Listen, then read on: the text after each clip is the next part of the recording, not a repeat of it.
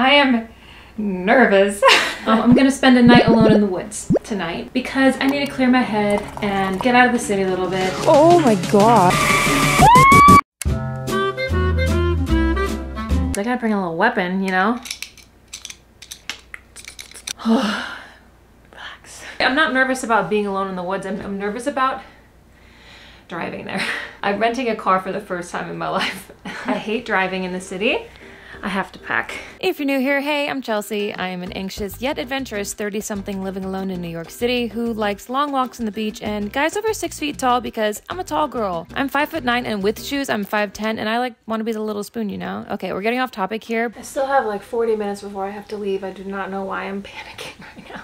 Calm down. Basically, I'm in a transition phase right now, making new friends, discovering new hobbies, thinking about the future while reflecting on the past. It's been a learning experience for sure. So, honestly, a night out in the open and fresh air sounds like the best thing I can possibly do for myself right now. Almost done with uh, fourth wing.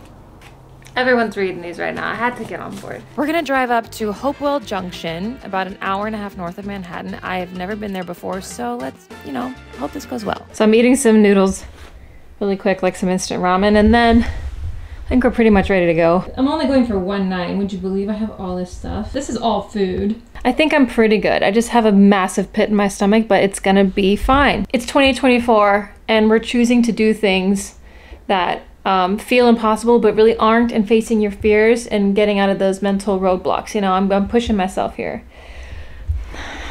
I can't believe I'm doing this. I'm actually in my first rental car. It doesn't feel so bad now that I'm in here because I kind of like it just it's like riding a bike, you never forget. And I do drive. I got my license when I was 16. Let's get acquainted. This is crazy.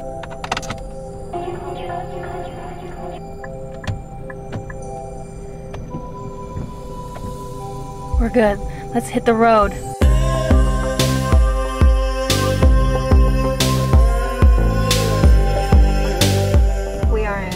Stop and go traffic, which is why I felt okay turning the camera on. I, I am freaking out because I cannot believe I'm actually driving and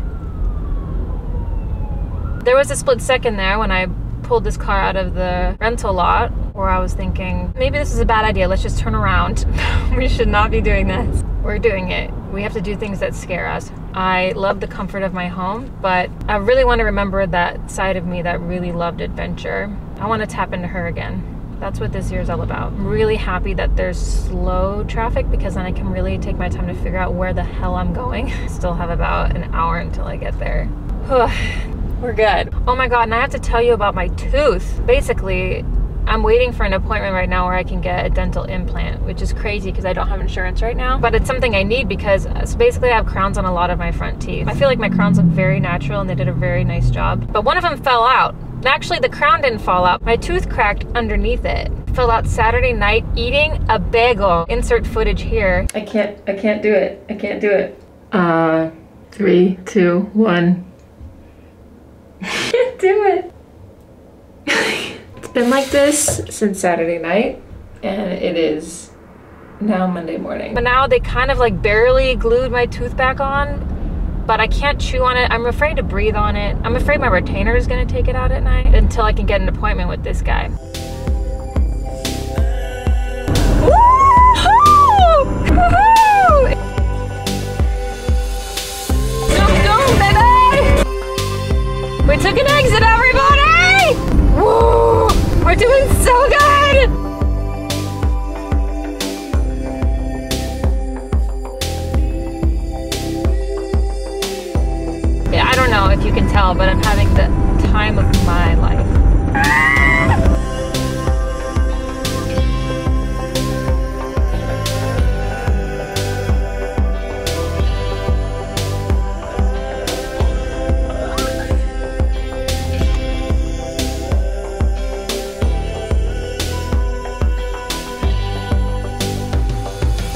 We're here. this is crazy and it's so quiet out here, but that's the heat? Yeah, I think that's the heat. I will give you a tour in a minute, but I have to pee and apparently this toilet is a bit different. So let's figure this out. Oh, do you see this? I've never seen this in my life. You see it's like peeing into a aluminum foil. It's the same one that Matt Damon used in The Martian. Technology these days, dude. Okay, everybody, welcome to Tiny House. Tiny glass house. We have the bed over here. Just windows all the way around. So many pillows. This is the sleeping area. The view. I'm confident there are no bears, but I don't want to jinx it. A really nice sink here, well stocked with paper towels and all the dishware you could ever need. And we have a hot plate, utensils, microwave, tea kettle. Oh, I, I forgot to bring my tea, but maybe they have some. Honestly, I'd be down to move in here. And then there's a cute little seating area, which I've already thrown my stuff all over. Full length mirror. that toilet is something else, y'all, but whatever. Whatever is necessary. I know I'm in the middle of nowhere. That's a little heater too. The tiniest sink. Look at that. She's so pretty. It's even a little bathroom fan. I have honestly, truly considered getting a tiny house and living that way. I feel like I'm primed for it because of the amount of time I've spent in New York in smaller spaces. This reminds me of like how little I actually need. I mean, I could be happy here.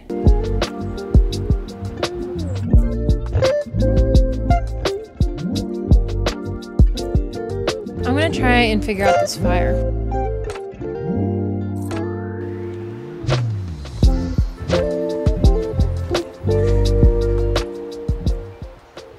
This is the, well, the firewood's like all wet. I feel like we could try and burn it, but I could be like that guy on TikTok. You seen like the axe guy that. Um, but I could use him here to chop me down some wood that's not wet. Maybe there's fire starters over here. Is that what this is? Is this a fire starter? Like this? It feels like I'm on Alone. You know that show on Netflix, Alone? I think I could definitely do that. Not in the survival way, but in the fact that I could be alone for a long period of time. Hmm. City girl tries to build a fire. This honestly is probably a lost cause. Maybe if we take some of the firewood. Okay, there's snow on that one. Well, can try.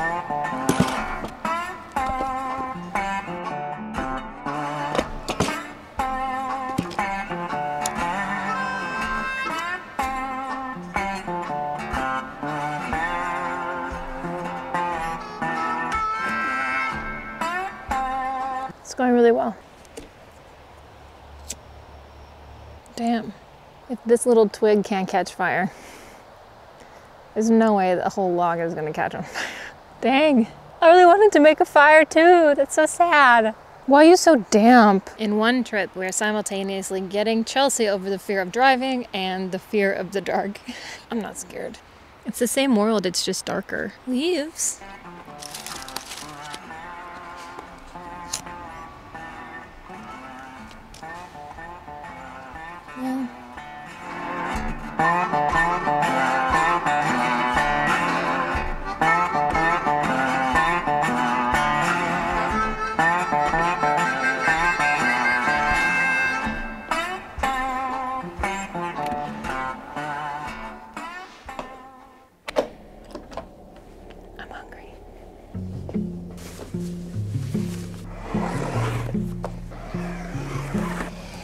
You know that feeling when you wait so long for everything to be perfect before you can allow yourself to be happy? It's human nature in this society, at least, to strive for more and for the best.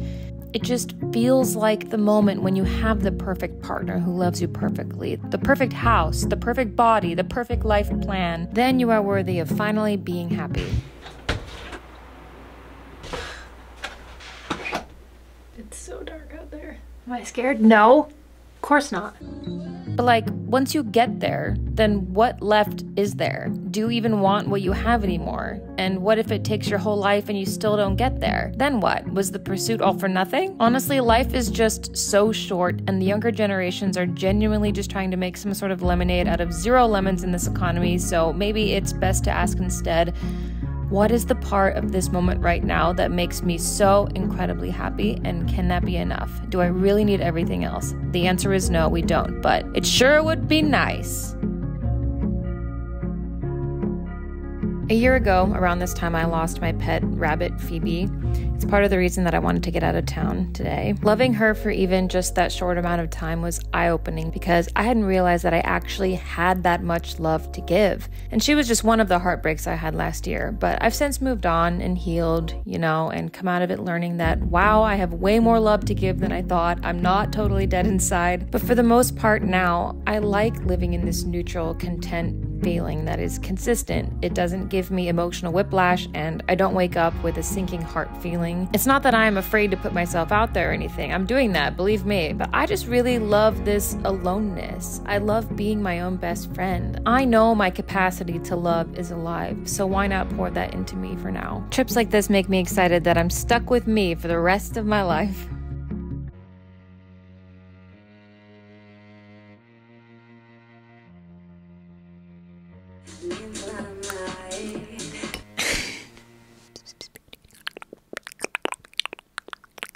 Some people will eat that. This place is great. I'm just gonna be chilling here.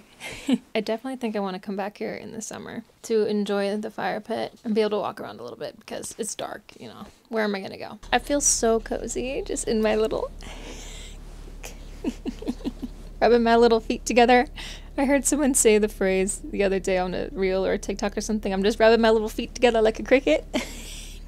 the only thing this place is missing is some candles and some warm light. We got the LEDs, but it feels like I'm in an office a little bit. Also, my dentist called me a couple hours ago and let me know that tomorrow, 7 p.m., I'm going to the dentist to get a tooth implant. I've been so scared this thing's gonna fall out again. Maybe I'll make some tea right now and sit and read a little bit. Dang, they only have green tea and black tea. I don't want to be wired. We're gonna get creative. I, I found ground cinnamon. So what if we put that in the hot water?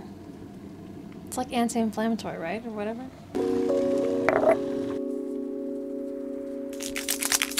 a little sugar too, like cinnamon sugar.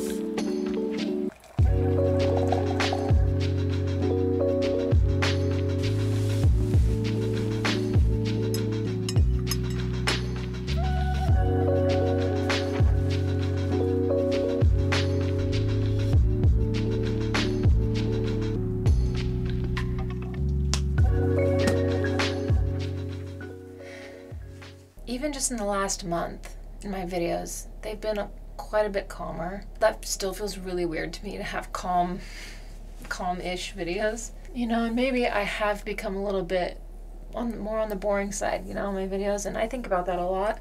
In general, I feel like I'm finally unmasking, which I don't know if you resonate with that at all. I'm look insane right now, but bear with me. I'm gonna wash my face like a guy for two seconds. I already got rejected from a part-time job too, which kind of sucks. I'm just grateful to have YouTube right now. And I'm grateful to know all of you guys too. Y'all are so fun in the comments, can I just say? this bed, really comfy. Oh, by the way, they didn't ask me to promote this place at all. Like I found this on Airbnb and I paid for it with my own money. I'm just here because I want to be. That's all. Just to clarify.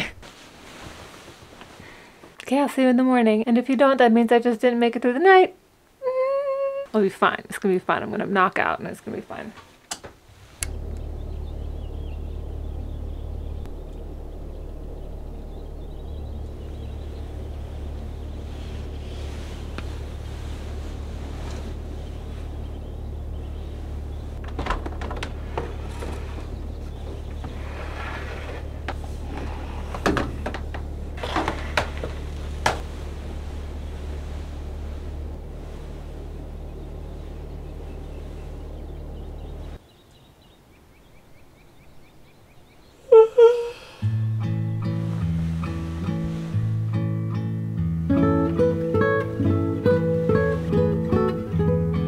I should get up.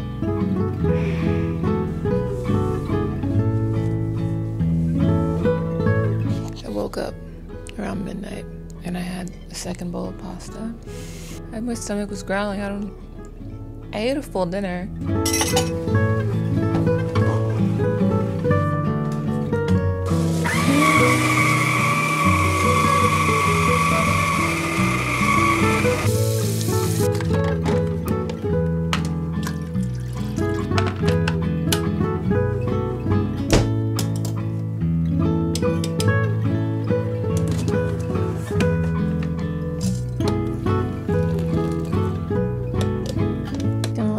chill for a minute and then add some more hot water.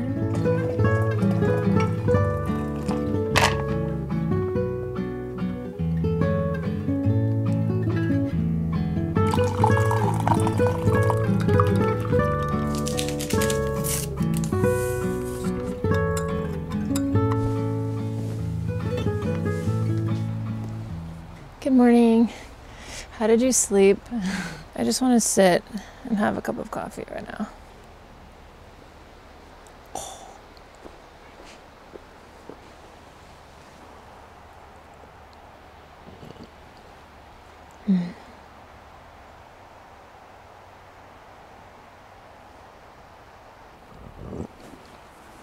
It's like 9:30, and I um, checkout is at 12. But because I have a big day today, I think I'm gonna leave around 11.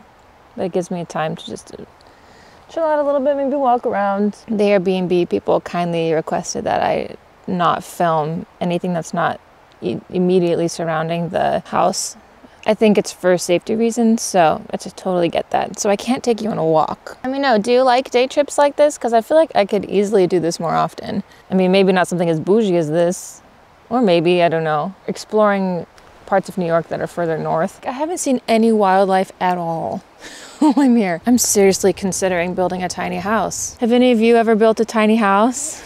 Do you have a tiny house or I don't know? Let me know.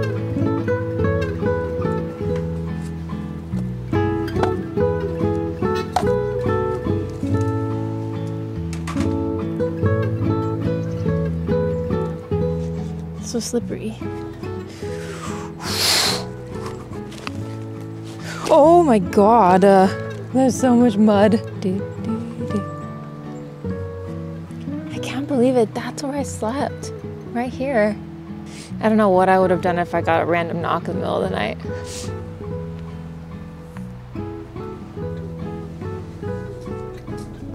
How cringe is it to be a vlogger?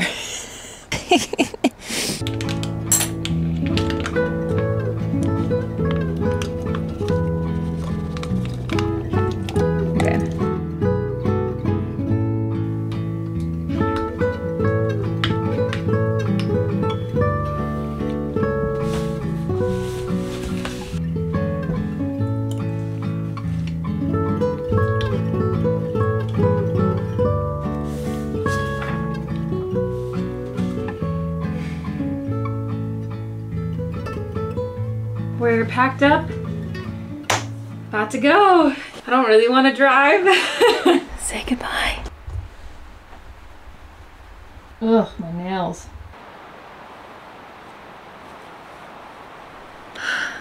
Time to go home.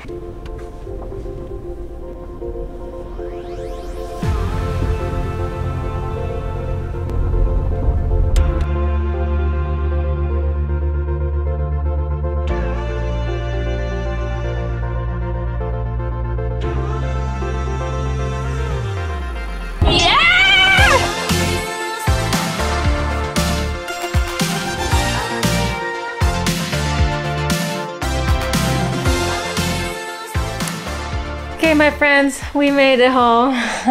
I'm so glad I'm no longer driving.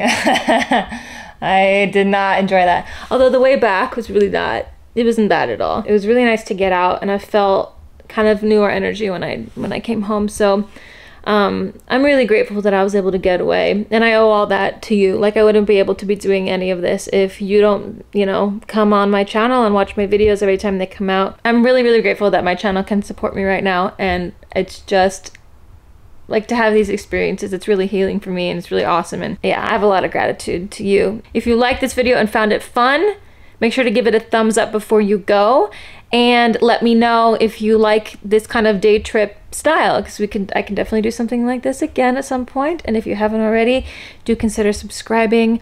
The engagement the subscribing it just tells the YouTube algorithm hmm people watch this. Let's push it out to other like-minded awesome people so that we can keep growing the community in our little corner of the internet. So I will see you on my next video. Bye